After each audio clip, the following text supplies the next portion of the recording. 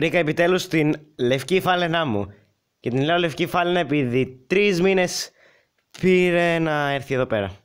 Και να την πήρα. Ένα βιβλίο με σκισμένα σημεία.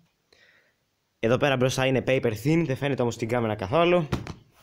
Εδώ πέρα επίσης δεν φαίνεται, αλλά βασικά όχι, όχι εδώ πάνω είναι. Καλά, ούτε εδώ πέρα δεν φαίνεται καλά, αλλά μπορείτε να δείτε κάτι. Δηλαδή, τρεις μήνες πήρε αυτό.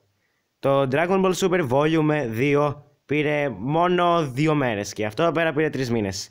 Και ένα τι πήρα. Τουλάχιστον, επιτέλους, έχω το ολοκένουργιο Fire Nights at Freddy's βιβλίο για να διαβάσω.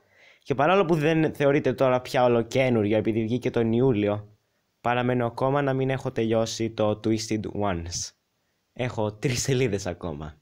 Και μετά αμέσως κατευθείαν αυτό εδώ πέρα θα διαβάσουμε. Α, θα τα πούμε την επόμενη φορά γι' αυτό.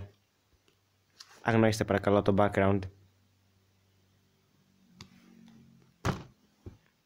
Πείτε μου τη γνώμη σας αν θέλετε να κάνω ένα συγκεκριμένο βίντεο για το βιβλίο όταν το τελειώσω και πείτε παιδιά αν το έχετε παραλάβει κι εσείς και πείτε μου πώς σας το φέρανε εσείς, εσάς. Σας το φέρανε σε απέσια κατάσταση, σας το φέρανε σε καλή κατάσταση. Δηλαδή ποιος διάλογος λέει πως τα βιβλία είναι μόνο για διάβασμα; Σοβαρά τώρα. Ποιος διάολος λέει ότι τα βιβλία είναι μόνο για διάβασμα και όχι και για το ράφι; Μόνο οι γιαγιάδες πιθανότητα γιατί εκείνες δεν καταλαβαίνουν το ότι, το ότι αξία έχει ένα βιβλίο. Γεια σας.